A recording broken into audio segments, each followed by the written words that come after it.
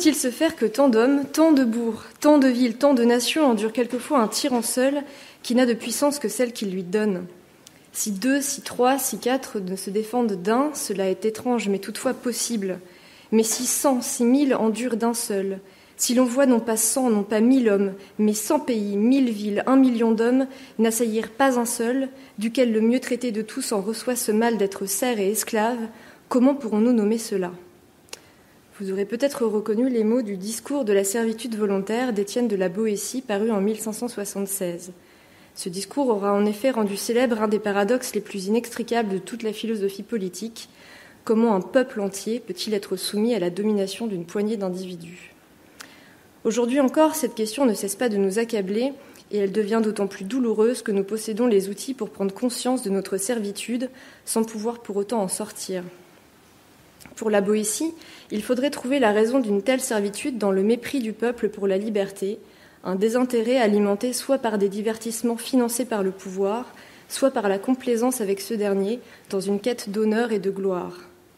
C'est enfin l'habitude, qui assurera la pérennité d'une telle servitude en y accoutumant tout le peuple, du gros populace aux hommes bien nés.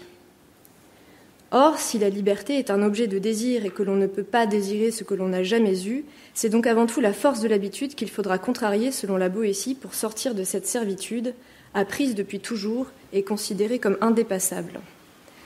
Le paradoxe de la servitude volontaire semble donc se solder par une aporie aux allures de caverne, quel prisonnier pensera même à se retourner ou à quitter la caverne si personne ne l'y contraint?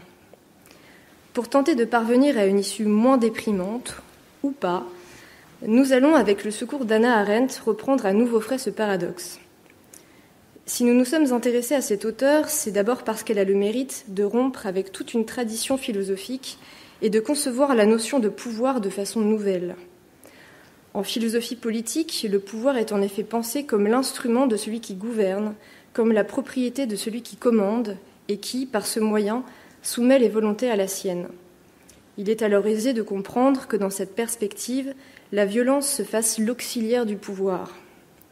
Or, tout cela ne va pas de soi pour Arendt, qui nous dit, je cite sur la violence, un article bah, qu'on voit dans Mensonges et violence, tous les théoriciens politiques s'accordent à reconnaître que la violence n'est rien d'autre que la manifestation la plus évidente du pouvoir. Cet accord est fort étrange. En effet, elle établira que c'est au contraire quand le pouvoir manque de force ou qu'il est menacé que la violence surgit. Je cite encore l'article sur la violence. Le règne de la pure violence s'instaure quand le pouvoir commence à se perdre.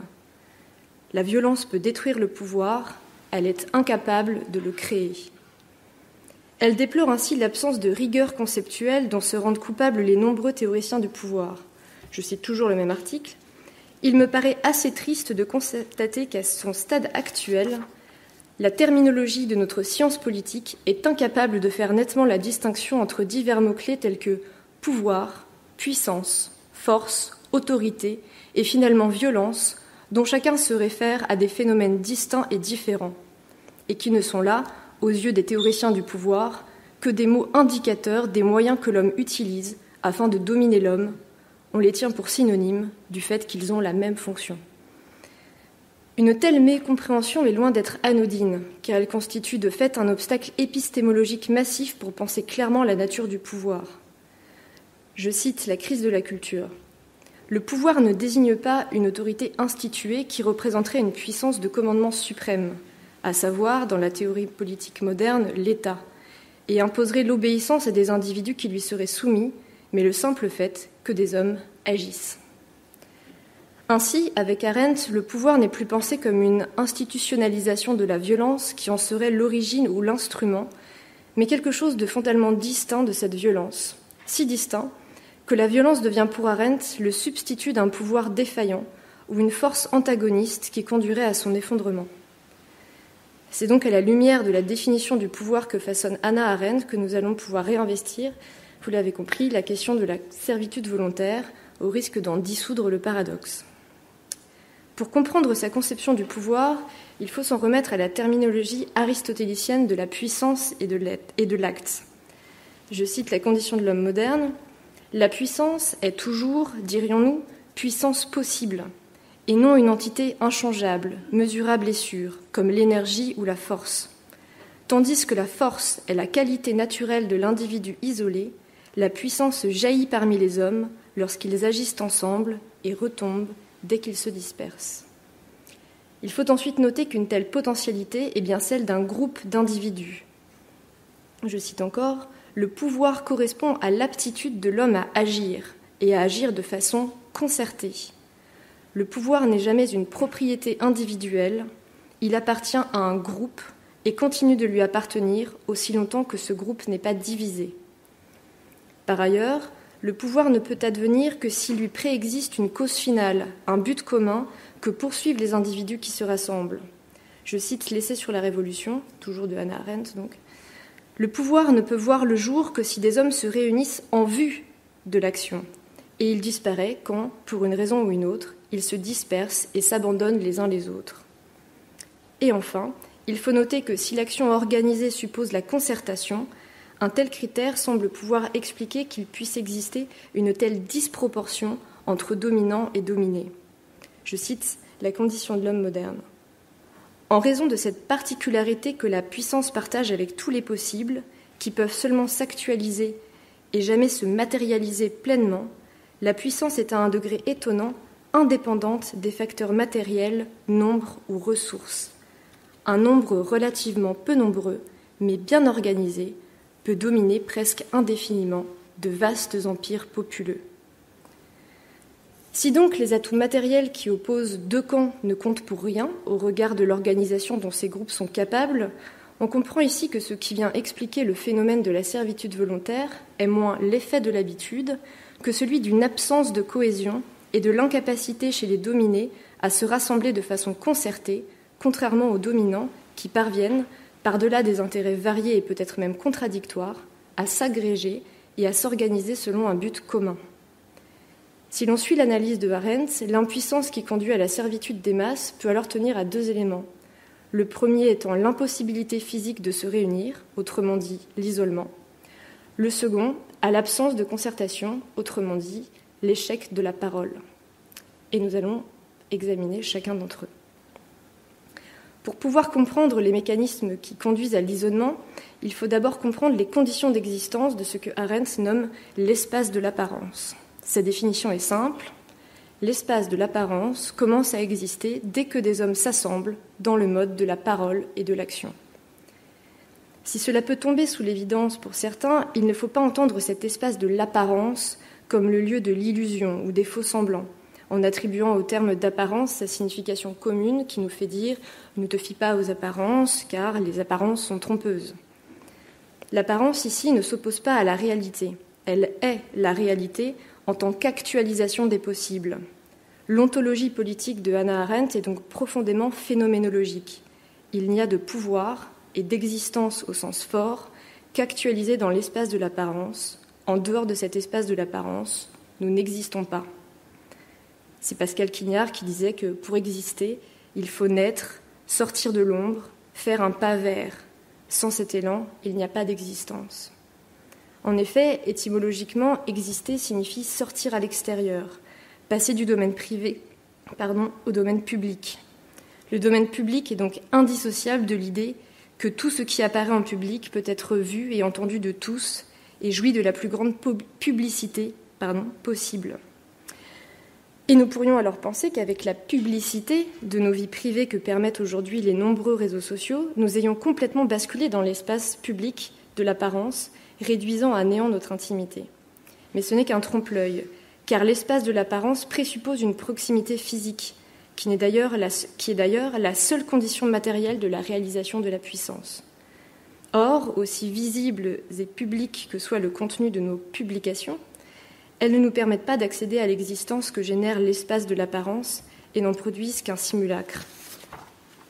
En donnant à l'espace privé l'apparence de l'espace public et en faisant passer les interactions numériques comme un substitut, voire un équivalent à une action effective, les réseaux sociaux avortent la possibilité d'un rassemblement authentique. Mais cela n'est qu'un premier obstacle, car la proximité physique elle-même ne saurait être une condition suffisante à l'avènement du rassemblement des hommes tel que le définit Arendt. En effet, si les réseaux sociaux donnent à l'espace privé l'apparence d'un espace public, l'espace public, lui, tend à se privatiser. C'est là notre seconde hypothèse. Pour empêcher l'avènement de l'espace public, ou donc qui se nomme aussi l'espace de l'apparence ou du pouvoir chez Arendt, hein, ceux-là sont, la même chose, il faudrait s'employer à privatiser ce qui aurait dû être, ce qui aurait dû être d'ordre public. Comment? La recette ne date pas d'hier, puisqu'elle est déjà celle décrite par la Boétie, pour nourrir le désintérêt des individus pour la liberté. Il s'agit de détourner l'attention des individus d'un objectif commun au profit d'intérêts individuels, de flatter leurs besoins d'importance et de sécurité, et fragiliser ainsi les dynamiques de solidarité. Le sentiment de confort ou de réussite viendra donc se substituer naturellement au sentiment d'existence qui ne peut surgir que lorsque se créent des liens et un sentiment d'utilité et d'appartenance. Un tel stratagème n'a d'autre but que d'aboutir à ce que Arendt appelle l'atomisation, c'est-à-dire à la destruction totale de tous les liens sociaux et familiaux jusqu'à parvenir à un véritable chaos d'intérêts individuels, interdisant de faire toute formation d'un corps politique mu par un intérêt commun. L'atomisation s'impose donc comme l'instrument privilégié des régimes totalitaires pour dominer les sociétés de masse. Afin d'éviter toute confusion encore, il faut préciser ici que totalitaire doit bien être distingué d'autoritaire et qu'un régime totalitaire est parfaitement compatible avec une société libérale et démocratique. Ce propos de Herbert Marcus dans L'homme unidimensionnel exprime clairement cette possibilité. Je cite Le totalitarisme n'est pas seulement une uniformisation politique terroriste, c'est aussi une uniformisation économico-technique non terroriste qui fonctionne en manipulant les besoins au nom d'un faux intérêt général. Une opposition efficace au système ne peut pas se produire dans ces conditions. Le totalitarisme n'est pas seulement le fait d'une forme spécifique de gouvernement ou de parti, il découle plutôt d'un système spécifique de production et de distribution parfaitement compatible avec un pluralisme de partis, de journaux, avec la séparation des pouvoirs, etc. À titre d'exemple, nous pourrions parler des bullshit jobs, que l'anthropologue David Graeber définit comme une forme d'emploi rémunéré qui est si totalement inutile, superflu ou néfaste que même le salarié ne parvient pas à justifier son existence, bien qu'il se sente obligé, pour honorer les termes de son contrat, de faire croire qu'il n'en est rien. La pathologie générée par ce genre d'emploi prend alors le nom de brown out, littéralement baisse de courant, et qui manifeste une démission intérieure née du sentiment d'inutilité et de perte de sens qui s'ajoute à un travail souvent solitaire, nécessitant peu, voire aucune interaction. Mais parmi tous les mécanismes qui produisent l'atomisation, un tel exemple n'est qu'anecdotique. Nous aurions pu aussi parler du télétravail, de l'expansion des méthodes de management à des activités qui devraient l'interdire, notamment celle du soin ou de l'éducation, mais nous nous en tiendrons là. Retenons seulement que les stratégies sont nombreuses qui permettent d'étouffer dans l'œuf les velléités de rassemblement et la formation d'un contre-pouvoir au pouvoir dominant. C'est pourquoi il est toujours à craindre que les individus se retirent du monde, que cela soit par confort ou par défaite. Céder à une telle tentation serait renoncer à ce pouvoir sur le monde commun qui ne vient que de l'agir ensemble et se condamner à l'isolement qui est, nous l'avons compris, le contraire de l'existence politique. Je cite le système totalitaire. L'isolement est cette impasse où sont conduits les hommes lorsque la sphère politique de leur vie, où ils agissent ensemble dans la poursuite d'une entreprise commune, est détruite. Là où il nous faut garder espoir, c'est dans le constat qu'une restauration de cette puissance est toujours possible. Les manifestations au printemps 2019 à Hong Kong ou le mouvement des Gilets jaunes apparu à l'automne 2018 viennent corroborer notre analyse en nous enseignant que dès que les individus sont rassemblés, ils sont puissants politiquement, quel que soit leur nombre ou les ressources matérielles dont ils disposent. Le dernier problème qui se pose pour nous se situe au niveau de l'action et de son instrument privilégié qu'est la parole. Souvenez-vous, nous avions posé deux conditions indispensables au rassemblement, celui de la proximité physique et celui de la concertation. C'est ce deuxième préalable. Au rassemblement que nous allons donc examiner dans un dernier temps. Commençons d'abord par définir l'action. l'action est, je cite euh, la condition de l'homme moderne, la seule activité qui mette directement en rapport les hommes.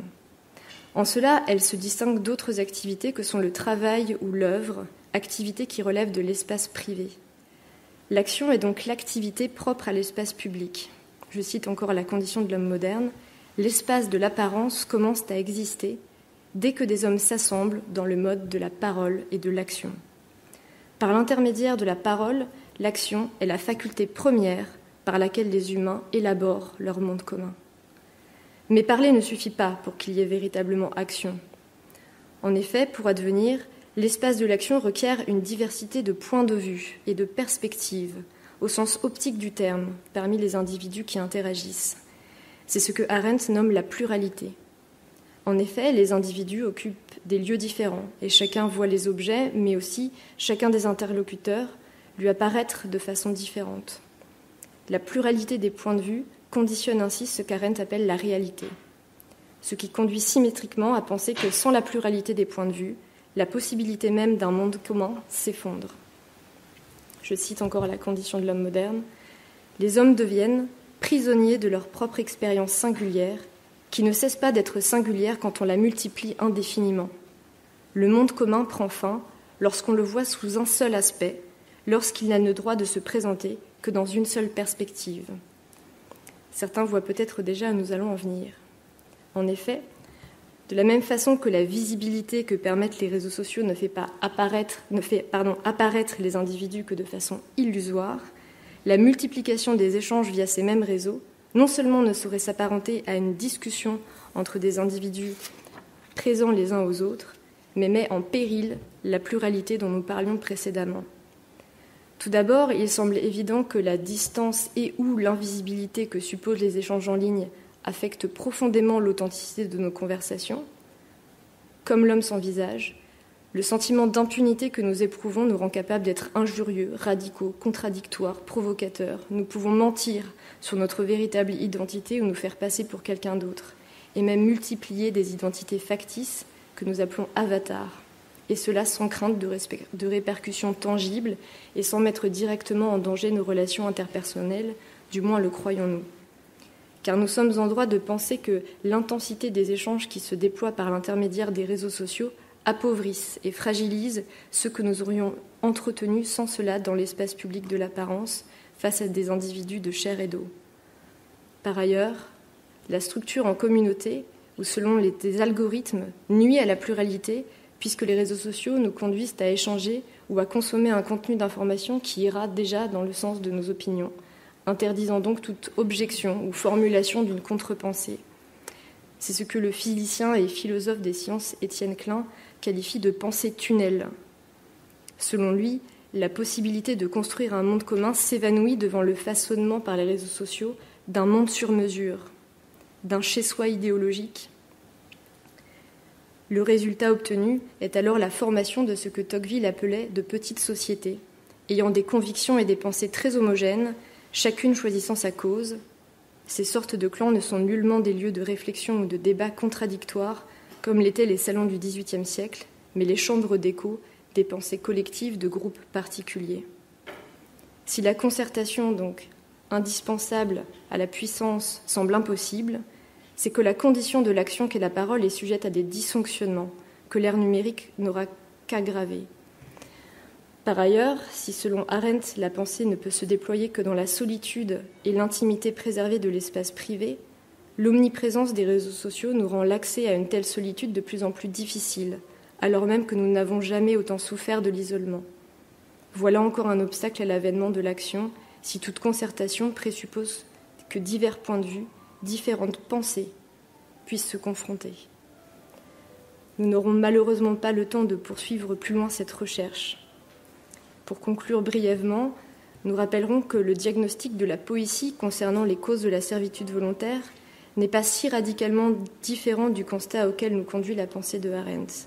Dans les deux cas, c'est toujours un repli sur les intérêts individuels et la sphère privée qui nous coupe de la possibilité de faire corps au sens politique. Néanmoins, l'analyse d'Arendt nous autorise un peu d'optimisme en réaffirmant le pouvoir, en réaffirmant le pouvoir, non comme la propriété de celui qui gouverne, mais comme potentialité, possibilité, et donc toujours à la portée de ceux qui sauront se rassembler en vue de construire un monde commun. Je vous remercie de m'avoir écouté.